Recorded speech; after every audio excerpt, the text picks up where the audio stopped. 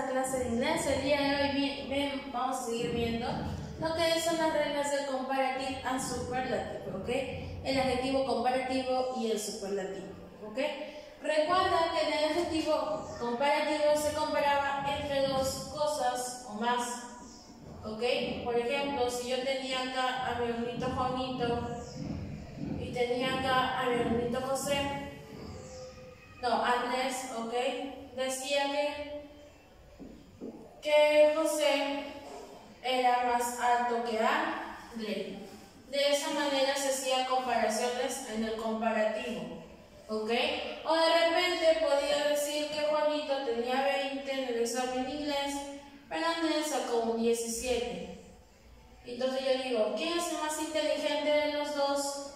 Es Juan ¿ok? No solamente la comparación se hace entre dos personas, sino puede ser algún elemento objeto en general, ¿bien? Que tengan una característica en común, ¿bien? Bien chicos, empezamos. ¿Qué dice la regla número 3 del comparativo?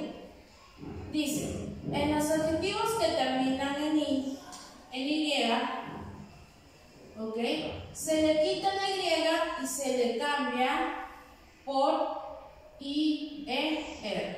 ¿Ok? Se le quita y se le agrega la I, E, R. Por ejemplo, easy, que es el adjetivo de fácil, easier. ¿Ok? Easier.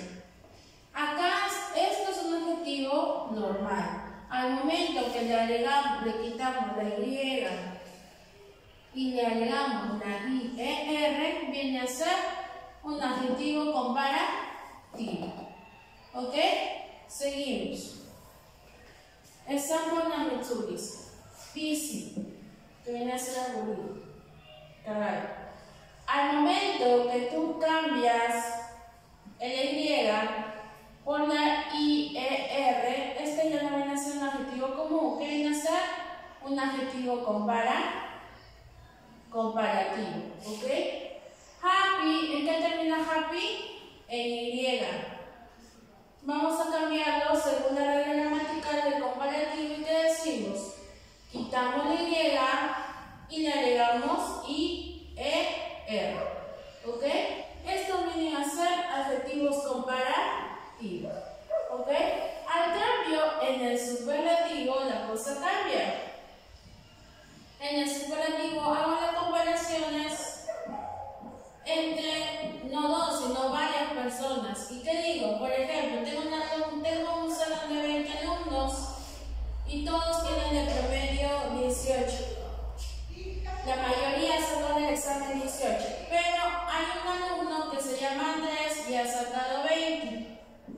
en el examen inglés. Entonces, ¿qué puedo decir? Voy a hacer la comparación acá y digo que Andrés es el más listo o el más inteligente de todo mi, salón.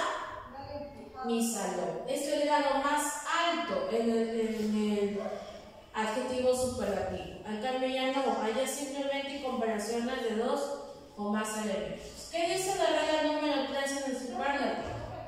Dice, en los adjetivos que terminan en Y, se le quita el Y y se le cambia por la I, E, S, T. En el comparativo hacemos el cambio por la I, E, R. Al cambio acá, hacemos el cambio por la I, E, S, T.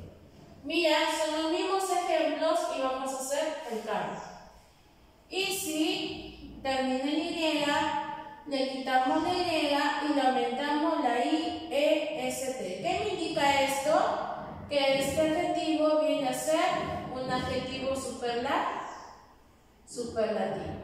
Busy, ¿ok? Le quitamos la Y y le agregamos la I, E, S, T, ¿ok? Busy, ¿ok? Entonces, ¿qué nos dice este adjetivo según la regla gramatical? Que viene a ser un adjetivo superlativo. Este es el adjetivo normal, pero el momento de cambiarlo, cambia a adjetivo superlativo. Y el último ejercicio que dice, ejemplo, happy, termina en Y, le quitamos la Y y le agregamos la I, E, S, T. Este superlativo.